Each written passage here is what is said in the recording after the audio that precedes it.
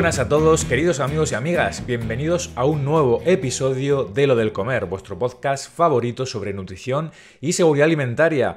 Y sobre seguridad alimentaria vamos a hablar hoy bastante, un tema que nos vamos a llevar todas las manos a la cabeza. Os aviso que esto mm, todavía no lo entiendo, estoy patidifuso, estoy anonadado, estoy traumatizado con este tema.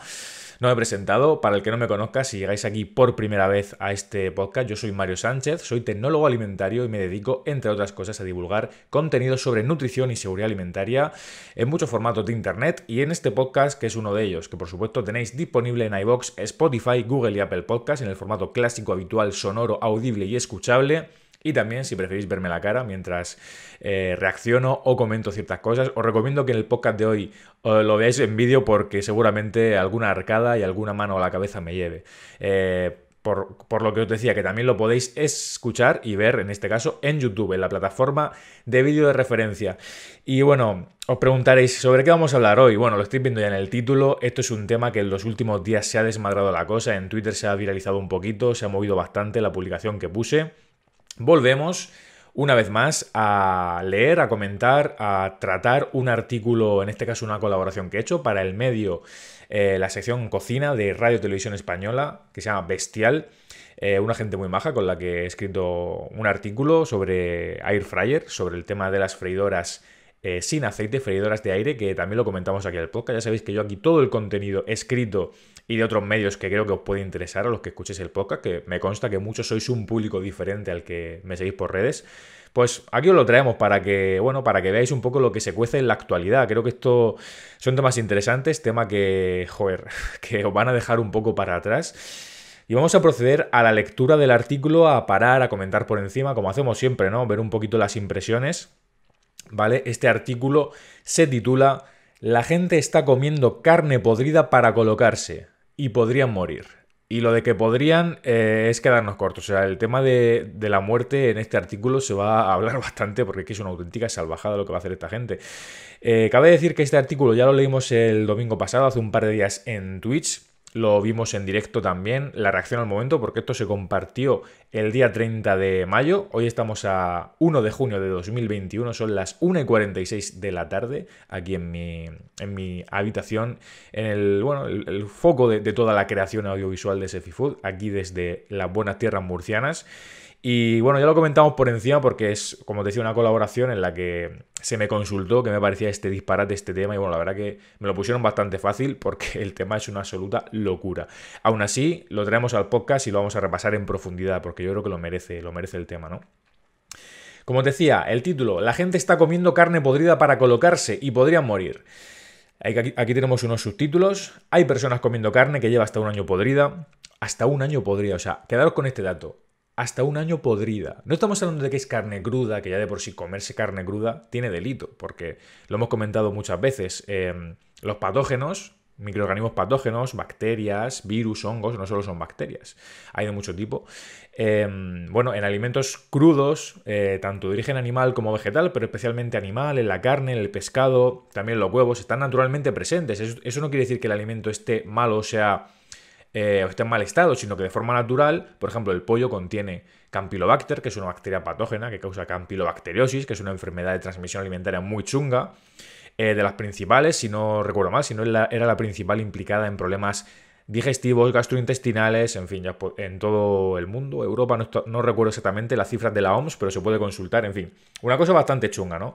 Y que obviamente, pues en otros países con eh, civilizaciones con costumbres de higiene mucho más deterioradas, o, no deterioradas, sino simplemente no tan desarrolladas como aquí, pues eso se da en muchos, eh, con mucha más frecuencia, ¿no? Eh, ante la escasez de higiene y demás. Entonces, imagina, como os decía, si ya de por sí los que somos expertos en, seguridad alimentaria estamos siempre machacando, cuidado con consumir las cosas crudas, cocinarlas suficientemente y demás, no estamos hablando en este caso de crudo, sino que se consume podrido, es decir, que lo dejas fuera del frigorífico un año, eh, creo que era dentro de un tarro o algo así, un montón de tiempo, se pudre literalmente, hay bacterias que causan putrefacción, que no es lo mismo que una fermentación, que son microorganismos que, joder, eso causa putrefacción y huele mal, eh, es un claro indicativo de que no te lo comas. Pues esta gente está lista, tan inteligente, tan, tan, tan amable, tan bonita, que lo deja podrido y luego se lo comen porque supuestamente le causa efectos alucinógenos, se colocan eh, como si fuera una especie de droga, ¿no? Y bueno, pueden haber quizá varias causas de, este motivo, ahora lo comentamos en el artículo y bueno, me he enrollado un poco al principio, pero es que de verdad es, es algo para para que me desahogue, porque esto es una cosa que a mí me traumatiza, o sea, como, como tecnólogo alimentario, como alguien que sabe bastante de seguridad alimentaria, o sea, esto es, cuando me lo comentaron no me lo podía creer, porque esto por suerte creo que en España no se ha popularizado todavía, de hecho, espero que desde aquí seamos los pocos que estemos hablando de este tema y que nadie se le ocurra, por favor, en YouTube ni en ningún sitio, eh, youtubers que hacen retos de comida, estas movidas, hacer todo esto, porque esto es un auténtico disparate y se pueden morir, o sea, es que parece una exageración, ah, esto pero no, no, te puedes morir, colega, o sea, que deja de hacer el tonto en Internet. Eh, Quédame, me estoy calentando. Bueno, vamos a seguir con estos subtítulos y leemos el artículo. Dicen sentirse bien, como colocados, pero los expertos dicen que es muy peligroso. Aprende a cocinar carne en condiciones y no hacer el tonto en nuestro buscador de recetas. Vale, esto me encanta porque es una forma que han puesto aquí en, el, en el, medio para, para poner el tema de las recetas y muy bien metida, por cierto, bastante guay. Este artículo fue publicado el 30 del 5 de 2021 a las 10 y 36 horas por Elena Martínez de Cestafe Elorza, que desde aquí le quiero agradecer eh, por haberme contactado para el artículo y por haberme causado quizá alguna que otra arcada, molestia digestiva y trauma al tener que visualizar eh, un poquito esto, ¿vale? Porque hay un vídeo... Eh, hay un vídeo de. Bueno, hay varios vídeos, en concreto de un youtuber que es el que encabeza. Creo que es. No sé si es americano o de mm, Reino Unido, pero encabeza un poco la portada del artículo eh, que se le dé comiendo directamente esa materia, podemos decir casi fecal, asquerosa, vomitiva. Eh, que yo por supuesto vi un trozo del vídeo y no pude terminar de verlo porque me entraba una angustia terrible, pero lo suficiente que vi me bastó para darme cuenta, bueno, aparte del disparate que es y de que es que, tío, es que se me revuelven las tripas, de verdad, de volver a recordarlo. Pero bueno. Eh, el artículo, una vez más, siempre que os traigo un artículo leído que no es escrito por mí, que sabéis que me gusta hacerlo porque son artículos antiguos o bien recientes de cositas que salen interesantes, siempre que no es mío, cuando lo leemos y tal es porque también el artículo está muy chulo, porque si no hubiéramos hecho un podcast eh, comentando el tema sin más, pero si leemos el artículo porque el artículo está guay, el, el rollo y el estilo eh, que tiene Elena, que, yo no la conocía, me, moló mucho y me hizo bastante gracia cómo lo, cómo lo redacta, encaja mucho con el humor que hacemos por Chefy Food. Así que vamos allá, ¿vale? Sinceramente, no estoy en posición de quejarme de nada, porque yo misma elegí y propuse este tema en una reunión, pero me voy a quejar igual porque estoy sufriendo muchas náuseas al escribirlo. O sea, alguien que empiece un artículo así merece todos nuestros aplausos. O sea, esto es puro estilo Chefy Food, magia eh, culinaria a tope. Resumiendito, hay gente comiendo carne podrida, o más bien super podrida, arcada, entre exclamaciones, para colocarse con ello. Y cuando digo super podrida, no hablo del nivel de ese tupper olvidado que tienes al fondo de la nevera desde hace tres semanas. Hablo de carne metida en un bote de cristal a temperatura ambiente meses o años. Triple arcada. O cuádruple o quíntuple. O sea, es que me estoy poniendo malísimo de pensar en esto. O sea, es que solo de pensar en que alguien se coma eso me provoca tal repugnancia que es que me, muero literalmente. no sé, es que me faltan calificativos, ¿no? Continuamos con la lectura. El que avisa no es traidor, es avisador. Y yo os aviso de que lo que vais a ver es probablemente de lo más asqueroso con lo que os hayáis topado jamás por las cloacas de este diverso paraje que es Internet. Preparad los estómagos. Elena nos avisa bastante bien porque esto es muy vomitivo, ¿eh? A esta nueva tendencia la han llamado high meat, que sería algo así como carne que coloca. No hay que confundir esto con la moda en gastronomía de las carnes maduradas, que sí se tratan en espacios controlados a nivel de humedad y temperatura. Esto es carne podrida literal, dejada a descomponer a la gracia del Señor. Y de los microorganismos, que hay algunos putrefactores. No recuerdo si es el término concreto o no, porque esto en la carrera lo damos, pero hay como algunos microorganismos concretos que se encargan de la descomposición, de la putrefacción, que son factores que deterioran ya un alimento cuando está en las peores condiciones. Y eso es que la seña eh, inequívoca de que no te lo tienes que comer. Eh, eh, creo que eran putrefactores o putrefac. Bueno, el término concreto no lo recuerdo, pero es un poco esa movida, ¿no? Que están implicados en esas reacciones químicas que generan compuestos que por olor porque es que no hace falta ni llegar al sabor, es que ya solo el olor te tira para atrás y hace que cualquier ser humano pues se aleje de eso y se vaya corriendo, ¿no? Ahora profundizaremos sobre esto. Importante este matiz de las carnes maduradas, carnes poco cocinadas eh, y demás, que bueno, ahí pueden haber matices. También hay que hablar de, los posibles riesgos que hay pues, del consumo de ciertas preparaciones, como los tartares y todo esto que usan carne cruda, eh, o carne poco cocinada, macerados, como, como decía ella. Porque a veces también nos confiamos eh, y el cocinado, recordemos que es muy importante para garantizar esa inocuidad, porque al final el calor se carga a las bacterias y a los patógenos, eso es muy importante, ¿vale? Pero es que ya esos son debates que se pueden tener entre moda gastronómica, seguridad alimentaria, puede haber cierto equilibrio, pero es que esto ya es un disparate que no hay por dónde cogerlo, esto es una auténtica burrada salvajada y de alguien, bueno, de gente sin escrúpulos, literalmente. Entonces, vamos a, a seguir con esto. Es el caso de este chaval durante un año entero. La fiesta de bacterias que se está metiendo al cuerpo no la sabe ni él. Vale, aquí tenemos el vídeo Eating One Year Old Rotten High Meat. Beef entrecote. Entrecote el que te daba yo, colega. Porque es que esto, madre mía, es que me pone una mala leche esto. Me pongo hasta agresivo. O sea, a esta gente no, sabría qué hacer con ella, os lo prometo. Porque, por suerte, esto es una moda que yo creo que se está quedando entre cuatro colgados, sinceramente. Espero que esto no trascienda, insisto. Como ve algún youtuber español haciendo esto, es que me, da algo. Y espero que esto sirva para alertar del disparate que es, no para promover esa moda. Yo creo que al final hacer este contenido de avisar a la gente de que es un disparate no es fomentar que la gente coma esto, es decir, oye, mira, hay gente que está haciendo esto, por favor, no se te ocurra hacerlo, ¿vale? Por lo menos eso es lo que yo, lo que yo creo. Proseguimos. Se sabe que los humanos llevamos cocinando la carne entre 300.000 y 400.000 años. Se han encontrado huesos animales quemados que datan de esa época que lo indican. Entonces ya eran conscientes de que cocinar la carne les podía librar de ponerse muy malitos. Se matan bacterias y la carne se digiere mejor. Es importante, la, la cocción, el cocinado, no solo eh, nos elimina la parte microbiana o patógena de los, pues eso, de los microorganismos que pueden provocarnos intoxicaciones, también hacen que algunos componentes de los alimentos sean más fáciles de digerir. Las proteínas, también algunos compuestos vegetales se eliminan que pueden ser eh, antinutrientes. Tenemos, por ejemplo, en las legumbres todo el tema de los fitatos y bueno, estos compuestos que con remojo, más cocinado, más todas estas movidas los quitas un poquito y bueno, al final el calor cumple con muchas funciones en la cocción y en, todo, no solo es a nivel microbiano. Sobre todo a nivel digestivo es importante, ¿no?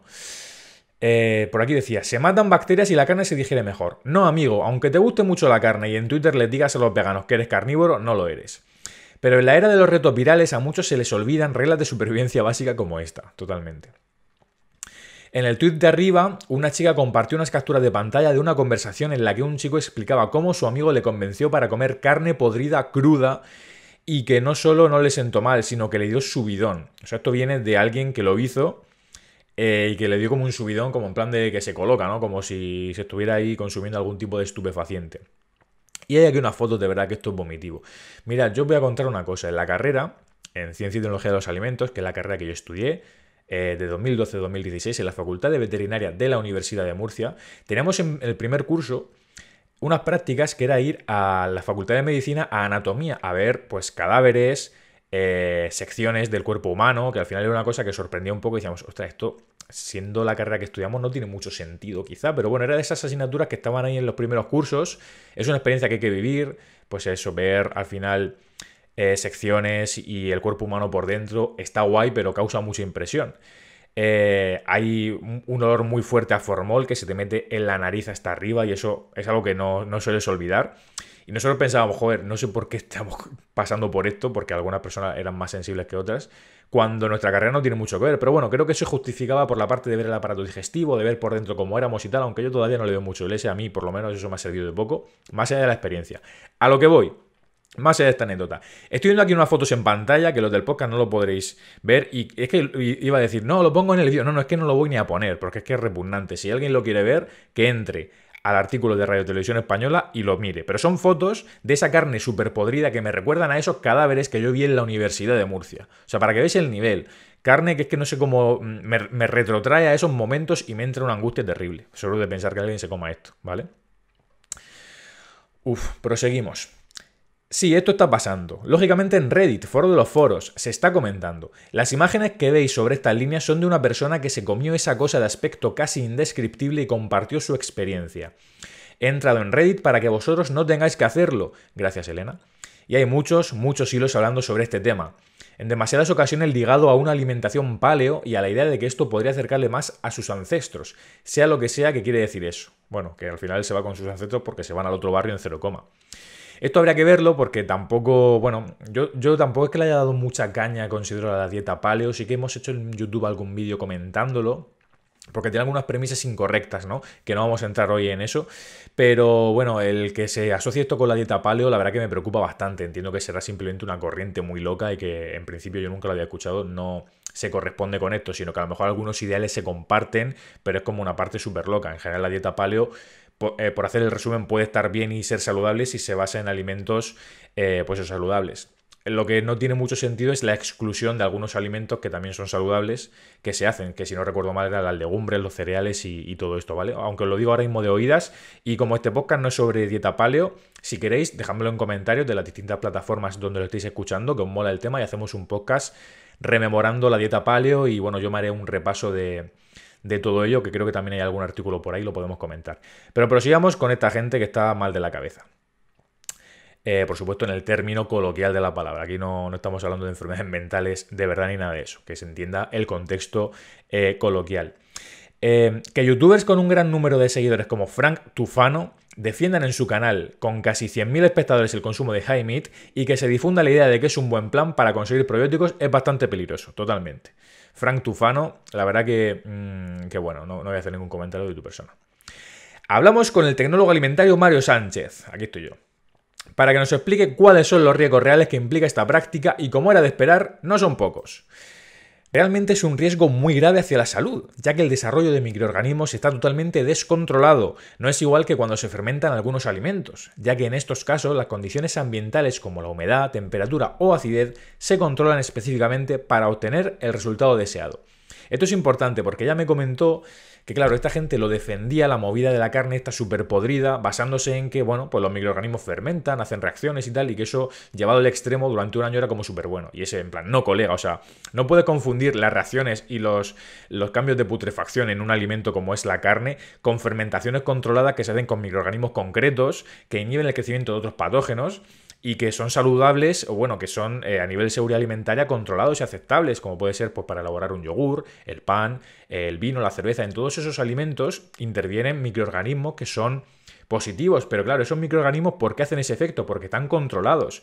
Ciertas condiciones que hacen que crezcan esos y no otros. Temperatura, acidez, humedad. Entonces, confundir esas reacciones, esos procesos con la putrefacción o con la podredumbre de no tener ni idea de microbiología, por supuesto, ni de eso. O sea, eso es una cosa que no tiene ningún sentido. Y que obviamente carece de cualquier base científica y de lógica humana. O sea, que comerte algo podrido, tú me dirás dónde tienes el, el beneficio, ¿no? Por aquí proseguimos, estos también son declaraciones mías. Cuando hablamos de carne podrida, la enorme cantidad de microbios alterantes junto a los propios procesos de degradación del alimento hacen que esta práctica sea una auténtica bomba de relojería para la salud. Si te estás preguntando lo mismo que yo, que es sobre todo si hacer esto puede matarte, la respuesta es rotundamente sí. Eso lo decía Elena, a lo que yo le contesto y prosigo. Sin exagerar, este tipo de prácticas pueden constituir graves riesgos para la salud e incluso podrían llegar a causar la muerte. A veces surgen intoxicaciones alimentarias con graves consecuencias para la salud que solo tienen que ver con un mal almacenamiento en frío de unos pocos días o una incorrecta manipulación por no lavarnos las manos. Imaginemos ahora que podría Imaginemos ahora qué podría pasar en un alimento que lleva un año podrido. Es un auténtico disparate y un peligro de salud pública. O sea, es que esto hay que remarcarlo y recalcarlo. Eh, a veces hemos comentado, eh, no, recuerdo ya, perdonad por el lío de multiplataformas y, de Twitch y todo esto, no recuerdo si fue aquí o en Twitch, pero comentamos una noticia eh, de, bueno, han salido varias noticias de un chico que se deja un plato de espaguetis fuera del frigorífico cinco días, se lo come y se muere. ¿Por qué? Porque ahí se generan una serie de patógenos que a temperatura ambiente eh, con el paso del tiempo van proliferando, van creciendo exponencialmente. O sea, cada, cada minuto que pasa, el número de bacterias aumenta exponencialmente, se multiplican todo el rato. Entonces, claro, si estamos hablando de que en esos casos ya alguien se puede morir, imagínate lo que tiene que ser para el cuerpo el riesgo grave que es comerte algo súper podrido. O sea, es una auténtica barbaridad eh, que es que yo ahí no sé ya ni qué tipo de, microorganismos ni de reacciones pueden haber, porque es que se mezclan tantas cosas que es un auténtico disparate, ¿no? Y el milagro es que a esta gente no le pase nada, realmente ese es un poco el milagro de que no le pase nada, hasta que, bueno, hasta que por desgracia alguien tenga un problema grave y, nos enteremos por la noticia, como esto sigue en auge, ¿no? Y aquí un, tema importante que a mí también me genera cierta curiosidad. ¿Y el colocón de dónde puede venir? Porque recordemos que esta gente decía que es como le pega un colocón, como si fuera droga, ¿no? Entiendo que es como, que se, como si se drogan. Pues probablemente, según Mario, de la propia intoxicación. Aquí entro yo. Algunos MOS producen ciertas micotoxinas que consumidas en grandes cantidades podrían explicar ese colocón que experimentan algunos de los consumidores de estos productos. En cualquier caso, el colocón es lo mínimo que les podría pasar, ya que las micotoxinas que producen estos microorganismos estos organismos, bueno, sí es lo mismo, son altamente cancerígenas. Eso es cierto, y no solo eso, sino todos los problemas digestivos que te puede traer el consumo de algo podrido, o sea, son tantas cosas que están mal. Si esto es a lo que yo iba, si a alguien se le ocurre alguna posible explicación científica de ese posible colocón, porque yo ya os digo desde aquí que no lo pienso probar, ni lo voy a experimentar en mis carnes, lógicamente, pero se me ocurrió el tema de la micotoxina. Luego también hay algunas toxinas que son, pero esas son típicas de moluscos, de bivalvos, más asociadas a productos del mar, que tienen alguna parte de parálisis y de... No recuerdo si también alucinógena, bueno, las setas, los hongos también tienen algunos componentes de ese tipo, pero a priori por el tema de la putrefacción no se me ocurre... No se me ocurren eh, posibles explicaciones para ese colocón más que las micotoxinas y todas estas cositas que en cierta forma pues también están relacionadas ¿no? con el tema de los hongos, pero que son de, de MOS, de, seres pues eso, em, microscópicos que producen estas toxinas y que te, vamos, eh, son cancerígenas, son problemáticas para la salud y a lo mejor pues también pueden ser la explicación ¿no? más plausible ante estos fenómenos. Me parece un, un absoluto disparate y no creo ni siquiera que esto se haya estudiado porque alguien que haya comido carne podrida eh, me cuesta creer que esto se haya estudiado, entonces a lo mejor ni siquiera se sabe, ¿sabes? del disparate tan grande que es. Pero bueno, seguimos, que creo que ya queda poco, por suerte. Y por suerte, como si el párrafo no me haya dado cuenta, por suerte, entre tantos vídeos de gente comiendo carne podrida sin ningún tipo de responsabilidad sobre la influencia que puede tener este contenido, ha habido canales que se han esforzado en explicar las consecuencias que esto puede tener. Gracias, gracias y un millón de gracias a los youtubers responsables. Em, totalmente, o sea, no. Eh, creo que son vídeos en inglés. Me vais a perdonar un segundo porque me está viniendo un estornudo, pero no termina de venir, por eso estoy siguiendo hablando. Parece que se ha ido. ¿Se ha ido? Sí, creo que se ha ido. Que no me parecía un poco feo aquí estornudar a mitad de la frase. Eh, hay youtubers también en inglés eh, que están explicando que esto también no es un disparate, lo cual es de agradecer. Que haya también gente que, por otro lado, advierta de los peligros, ¿no? No todo, no todo es malo en internet ni en YouTube. Y para la gente, bueno, yo creo que si estáis aquí consumiendo esto en Internet, sois consumidores habituales de Internet, sabéis que en Internet está tanto lo bueno como lo malo. Em, como la canción de Aitana y de. ¿Cómo se llama? Ana, Ana algo, ¿no? Ana Guerra. Ana Ward. Eh, os decía eso, que al final te puedes encontrar disparates, pero también gente que informa y bueno, que intentamos concienciar sobre estos, estos auténticos disparates. Así que me alegro que también haya esa contraparte eh, explicativa. Y por terminar, Continúa aquí Elena con el artículo. Le pregunté a Mario también si pensaba que las plataformas deberían regular este tipo de contenido para evitar, en el mejor de los casos, que alguien acabe en el hospital y en el peor, qué sé yo, otra pandemia mundial. Y los dos compartimos opinión al respecto. En este sentido, concuerdo en que eso ya soy yo, ¿vale? Es que como hay tantas comidas y tal, os lo estoy indicando porque, claro, si no, al nivel escucha, escuchación no se entiende mucho. Pero bueno, esto ya que voy soy yo. En este sentido, concuerdo en que debería regularse este contenido en Internet de alguna forma bien limitando el acceso o con disclaimers, igual que muchos bulos y falsas creencias que atentan directamente contra la salud. Totalmente, o sea, ella me preguntaba eso, ¿no? Igual que ahora con todo el tema del COVID y tal, siempre vemos en algunas publicaciones, oye, información sobre las vacunas o información sobre tal. Eso está guay, está guay que, que se advierta y bueno, quizá debería hacerse, pero esto, como es algo tan residual, yo no creo que tenga el suficiente alcance o volumen al final como para considerarlo que las propias redes sociales consideren un riesgo, no lo sé. Es complicado, pero obviamente debería regularse. Mm, no sé si, prohibirse, sería un debate interesante, pero desde luego avisar de que esto es un auténtico disparate, porque claro, esos vídeos en concreto, aunque son pocos vídeos, tienen muchas visitas, aunque son cuatro, cuatro personas, cuatro gatos, tienen mucha repercusión esa gente y es peligroso. ¿Vale? Y ya por terminar, nos cuenta aquí eh, Elena, por favor, aunque vuestro youtuber favorito venda virtudes y milagros sobre un tema, investigad primero. Hay gente muy dispuesta a poner su salud y la vuestra en riesgo por un puñado de visitas. Y yo desde aquí, Elena, te agradezco y te aplaudo por este gran contenido, por haber contado conmigo para avisar de este disparate. Porque os digo de verdad que es que me quedé, mm, lo puse en Twitter, lo compartí y se movió bastante, la gente se quedó súper loca, sé que es un tema que cuesta creer, o sea, cuesta creer y, y para mucha gente habrá sido una sorpresa y en plan de, joder, ya muchos comentarios en Twitter de lo que nos faltaba, ya para extinguirnos, es que nos merecemos la extinción, el ser humano es horrible, esto, lo otro. Y bueno, yo quizás soy un poco más optimista el ser humano está muy mal, hay, hay muchos seres humanos de diferentes tipos y por suerte pues no todo está tan mal, pero cuando te encuentres estas cosas es que el pesimismo es innegable, es en plan de, pero ¿qué hemos hecho para merecer esto? Me hacía gracia lo de, lo de otra pandemia, ¿te imaginas? Algún virus zombie derivado de comer carne podrida. Yo ya me, espero cualquier cosa en, en 2021.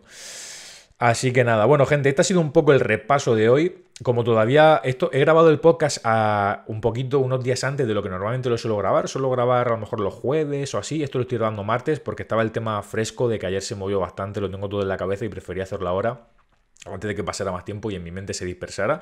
Creo que ha quedado guay el podcast, espero que os mole. A los que lo estéis escuchando, ya sabéis que lo podéis escuchar en Spotify, en iVoox, en Apple, Google Podcast.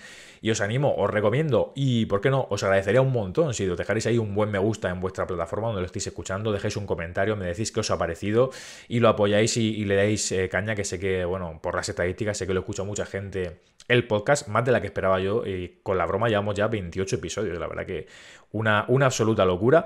Y os digo que me lo paso muy bien grabando estos episodios porque me sirve de nexo para traeros esos contenidos de internet que sé que a muchos no llegan porque bien son escritos, son cosas que son más del momento de redes sociales y que si te las pierdes en Twitter, pues ya dentro de dos o tres días nadie se acuerda. Y creo que esto es una buena forma de que queden eh, patentes, vigentes y que llegue a mucha más gente, sobre todo a los que no están en, en, el día de las redes sociales. Así que nada más, me voy a despedir ya por aquí, muy contento de tener los deberes hechos del podcast a principio de semana. Os recuerdo, eh, pues eso, eh, todo el tema que os he comentado de las plataformas, de que si lo compartís a tope. Y nada más, eh, yo soy Mario Sánchez, tecnólogo alimentario, divulgador sobre nutrición y seguridad alimentaria, y espero sinceramente que jamás os vuelva a tener que traer una noticia de este calibre y este disparate, porque es que si no, a mí me va a dar un patatús, no llego a los 30 y, y no puede ser esto. Así que nada más, me despido por aquí, os doy muchas las gracias a todos y a todas por llegar hasta el final. Os mando un abrazo muy fuerte desde Murcia y nada, nos vemos, nos escuchamos en el próximo episodio de Lo del Comer. Un abrazo y hasta pronto.